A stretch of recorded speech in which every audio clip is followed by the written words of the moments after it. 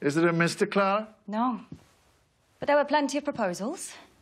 They all turned you down, though. I turned them down. I travelled. I taught in every country in Europe. I learned to fly a plane.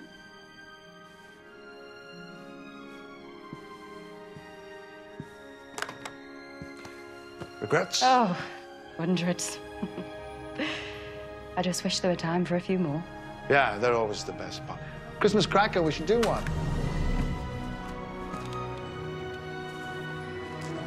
No one ever matched up to Danny, eh?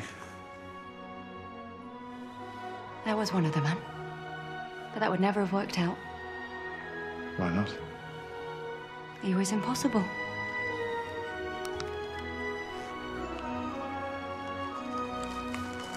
We should do this every Christmas. Because every Christmas is last Christmas.